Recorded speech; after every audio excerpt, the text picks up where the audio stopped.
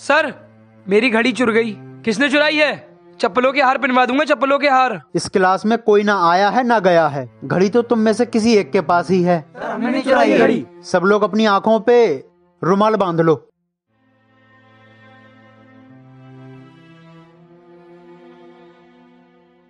ये लोग को कब? घड़ी मिल गई है तुम्हारी। सर ये घड़ी कितने चुराई थी ये तो बता दीजिए। बेटा घड़ी मिल गई तुम्हारी।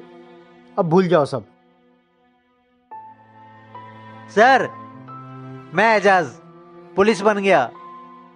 सर वो एक बार क्लास में घड़ी चुरी थी वो मैंने ही चुराई थी। अच्छा तो वो तुमने चुराई थी? आपको नहीं पता?